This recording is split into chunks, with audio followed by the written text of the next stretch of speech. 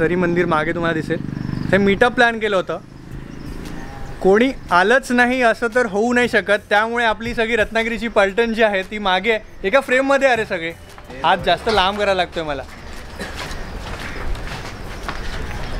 तर आपण एक इंट्रोडक्शन घेऊयात क्विकली कारण रत्नागिरीत माझं येणं जाणं असणारच आहे आणि ह्यांना पुन्हा भेटणार आहे मी इकडे आल्यानंतर. मी Vivek Shinde.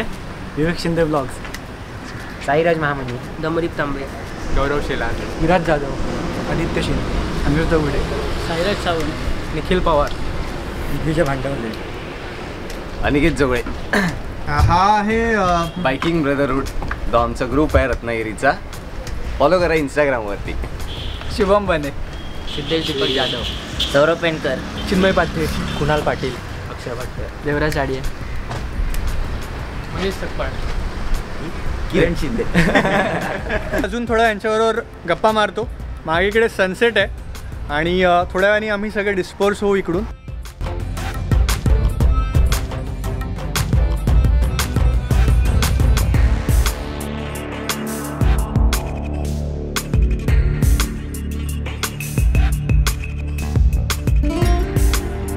Hello guys and welcome back to my YouTube channel now Hathkhamba जो है रत्नागिरी के जस्ट बाहर।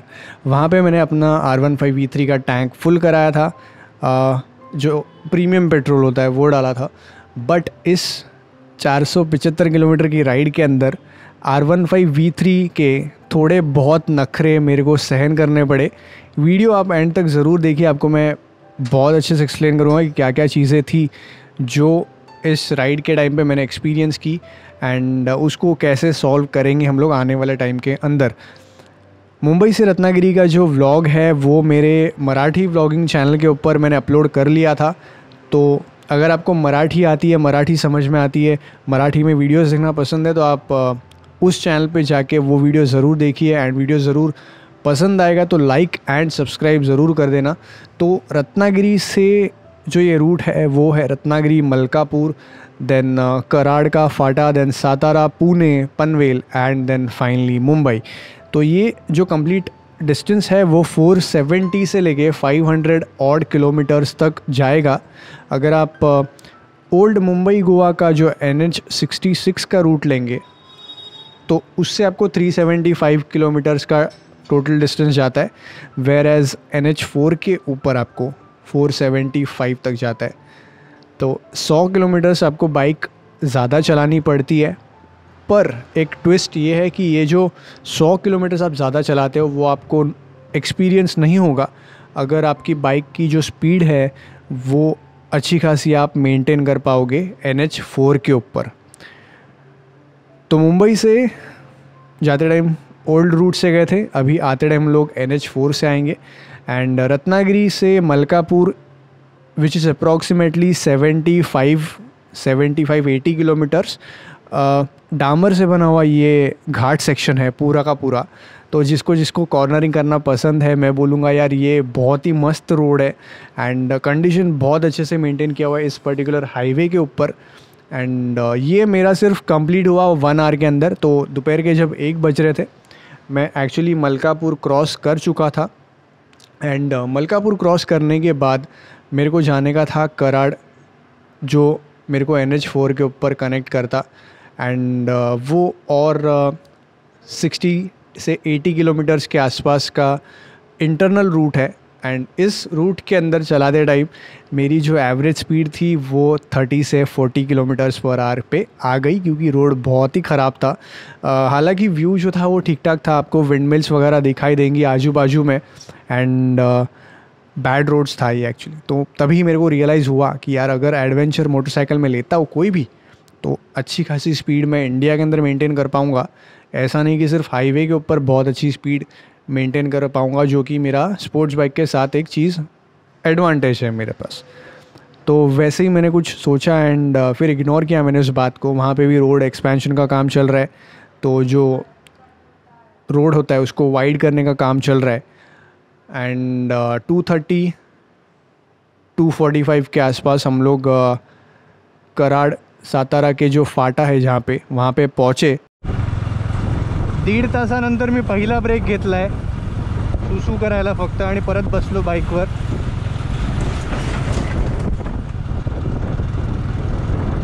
पहिल्या एका तासात बहात्तर किलोमीटर झाले होते. गेले अर्धा तासात फक्त अठरा किलोमीटर झालेत. म्हणजे पस्तीस ते चाळीसच्या आसपासची स्पीड जी आहे तुम्हाला मिळते आहे एक सव्वीस झालेत. वीस मिनटात अठरा किलोमीटर.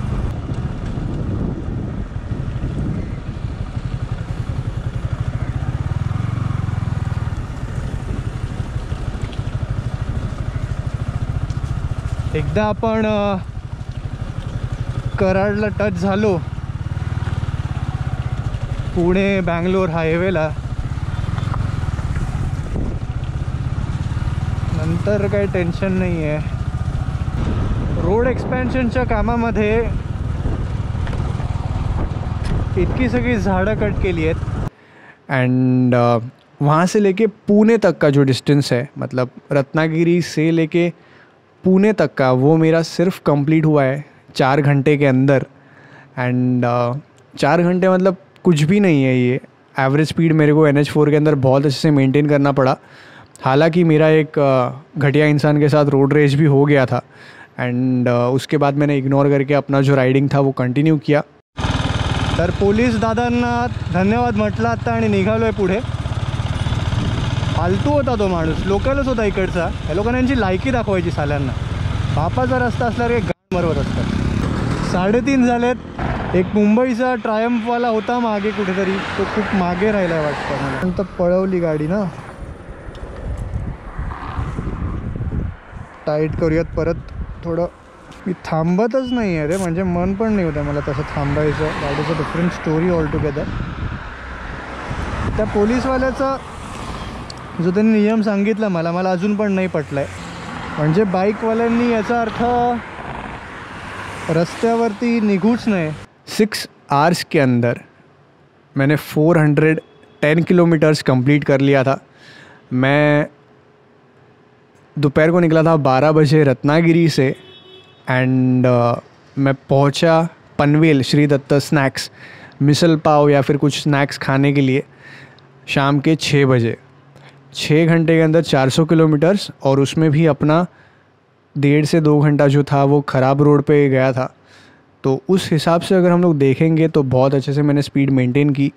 पुणे के बाद मेरी स्पीड जो थी वो थोड़ी कम हो गई क्योंकि फिर ऑफिसेस छूट रहे थे लोगों के एंड वो बड़ी बड़ी जो बसेस होती है पिकअप एंड ड्रॉप वाली वो थी एंड उसके अंदर मैंने मम्मी को कॉल किया था कि कुछ लाना है तो मम्मी ने बोला कि लोनावाला से चिक्की लेके आना तो मेरे को वापस लोनावाला के अंदर आ, पूरा टूरिस्ट से घिरे हुए एरिया के अंदर थोड़ा ट्रैफ़िक बेयर करना पड़ा बट लोनावाला जैसे ही क्रॉस कर लिया वैसे ही पुणे से हम लोग जो निकले थे, लोनावाला तक एंड देन वापस लोनावाला में थोड़ी स्पीड कम करके वापस पनवेल तक बहुत आसानी से हम लोग छः घंटे में पहुँचे। तो वैसे देखा जाए तो यार छः घंटे में मेरा ये 400 किलोमीटर कंप्लीट हो गया। एंड फिर ऐसे लग रहा था कि मैं सेवन थर्टी एट तक मैक्स टू मैक्स घर पे पहुँच जाऊँगा। पर नसीब में कुछ और ही लिखा था। घर पहुँचते पहुँचते मेरे को बज गए साढ़े नौ। मतलब साढ़े तीन घंटा मेरे को सिर्फ़ लगाए पनवेल से मलाड आने के लिए मंडे की ट्रैफ़िक के अंदर। कभी कभी देखता हूँ पीछे, ऐसा लगता है यार मैंने बहुत गलत डिसीज़न ले लिया था, शायद से मेरे को जल्दी निकलना चाहिए था।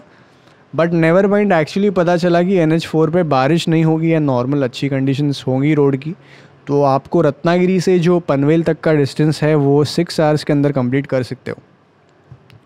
तो अब बात करते हैं कि इस कंप्लीट राइड के अंदर मेरे को क्या प्रॉब्लम फेस करना पड़ा अपनी आर्या के साथ। तो बाइक लेके मैंने मैंने ली थी बारह मई को और अभी नौ महीने कंप्लीट हुए हैं एंड टेन थाउज़ेंड किलोमीटर्स मेरे कंप्लीट हो चुके हैं बाइक के ऊपर। एंड बाइक के साथ मैंने एक बड़ा प्रॉब्लम ये एक्सपीरियंस किया कि जब चला के मेरा अढ़ाई तीन घंटा हुआ था सातारा से पुणे के बीच में बाइक 115 से 116 बस इसके ऊपर जाने को रेडी हो ही नहीं रही थी।